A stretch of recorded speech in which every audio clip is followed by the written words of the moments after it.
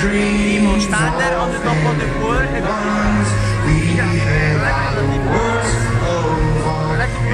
Bloods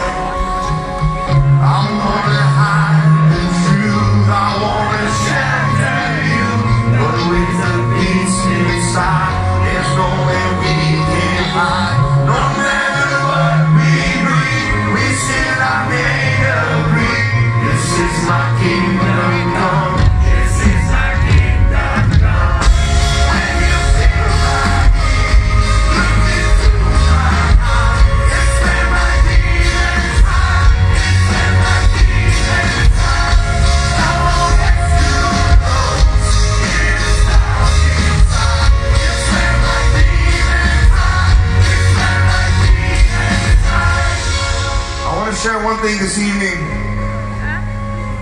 We have a stigmatization in our society, in our culture today that is hurting our youth, even killing our youth.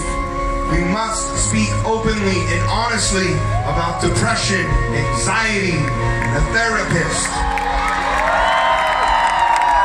I was diagnosed with depression many years ago, sitting in a chair with a therapist. This does not make me broken. This does not make me weak.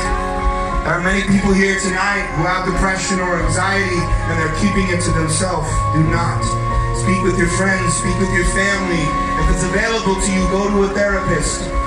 It gets better. I understand the darkness, the numbness. It gets better. There's light up ahead. Your life is always worth living. Always. Never take your life from us. We need you.